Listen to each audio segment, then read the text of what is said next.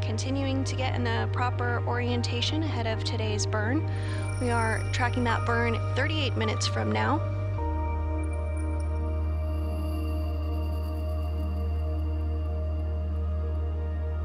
You are seeing a view on your screen of the lunar surface as well as Earth. For Orion, this is not a goodbye, but a see you later to the moon, our nearest celestial neighbor, as we begin to get our first glimpse of an Earthrise coming into frame. In this view, we see 8 billion human lives all existing upon our pale blue dot, our blue wormhole, our very own spaceship Earth. And after a long journey, Orion is now coming home.